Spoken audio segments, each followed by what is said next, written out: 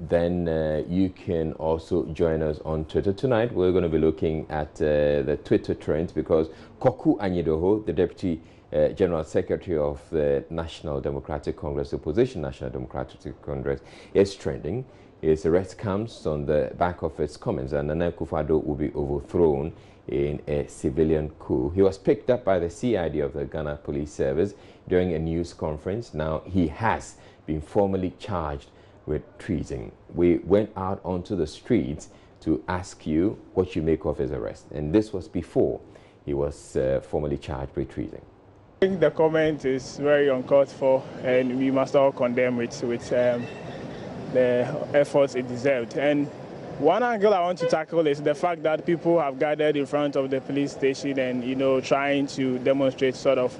I think it's, it's something that is not good for our democracy because um, when an individual goes contrary to the laws and offends the law, I think the law must deal with the person.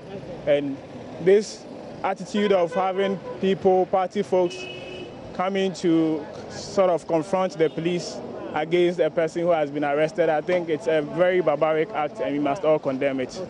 Actually, what the man said is a kind of fear and panic because seeing all this thing can cause the public to, you know, to fear, will not even be comfortable living in their own country because you can't just stand up or just wake up one morning and say a thing that can cause a war in a country. So I think it's very bad and threatening. It's not in the right direction because, well, I'm not politicizing it, but listening to um, the utterances that he made, I don't think it's in a good state. And I think, I mean, he been called for all the questions and other things. He needs to answer for them.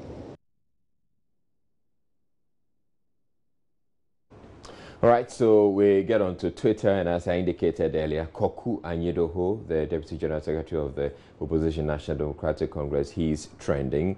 And so if you go there, you will see Kwaku Anyidoho uh, being number one on the Twitter trends. If uh, David can just show that on screen right now. Okay, so there we have a Kwaku Anyidoho, and he's trending with what, some 3,925 tweets. And then you see uh, Joy News also trending. And of course, Joy News will be trending because we have been providing you extensive coverage of uh, this story. It's been a pretty fluid story, started from afternoon and it's been trending all day. There have been several developments. The very latest is that Kwaku Anyidoho has been formally charged with uh, treason. So let's get to your comments having to do with what he's had to say, Kwaku Anyidoho had to say and the comments that has gotten him into trouble.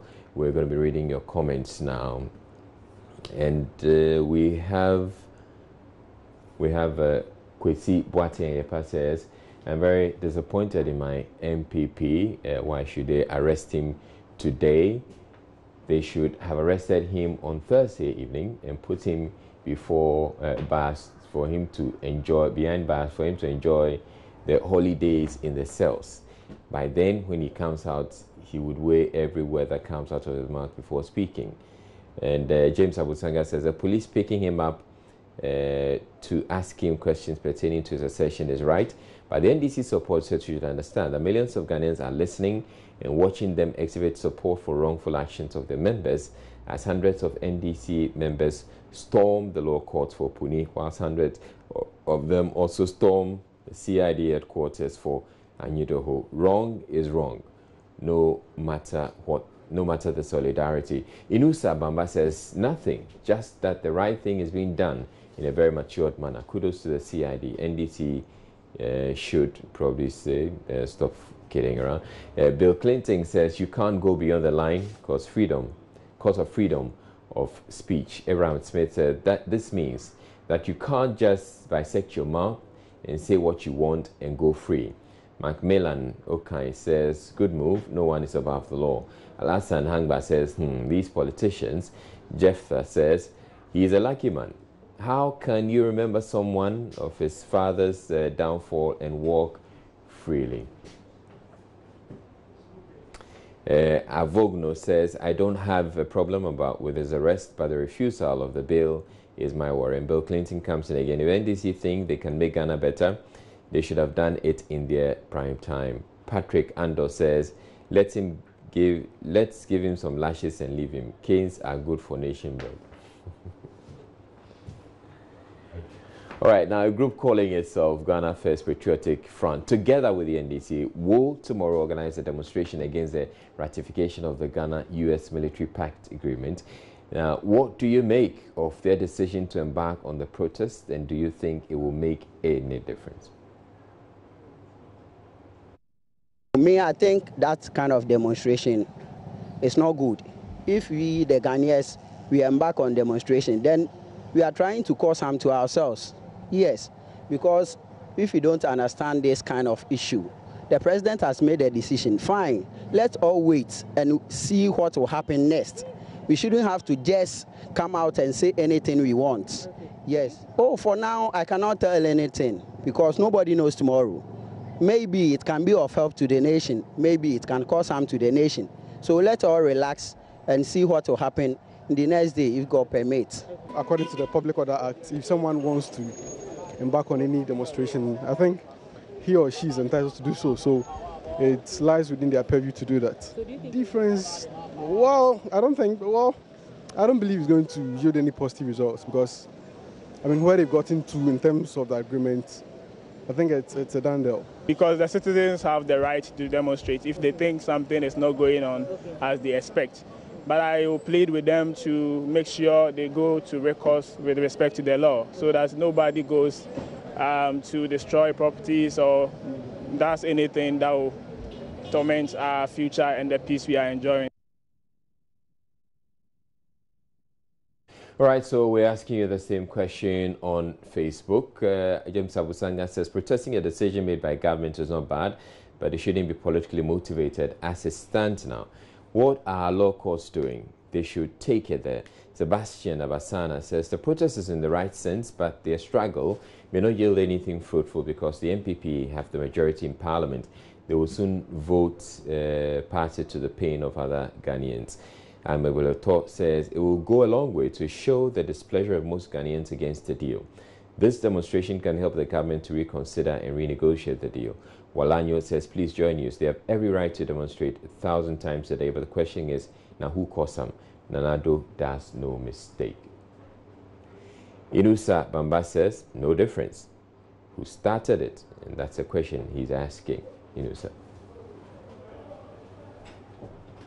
Abdulaimo says, I don't think he will make any change, though uh, it's not safe to me.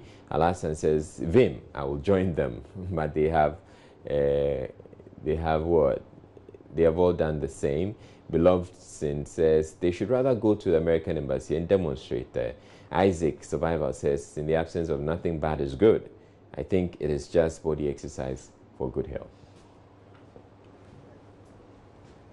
Well, how well do you know about theatre? Today is World Theatre Day and it is celebrated by those who see the value of and importance of theatre. What do you think can be done to revamp our theatre industry to make it more exciting?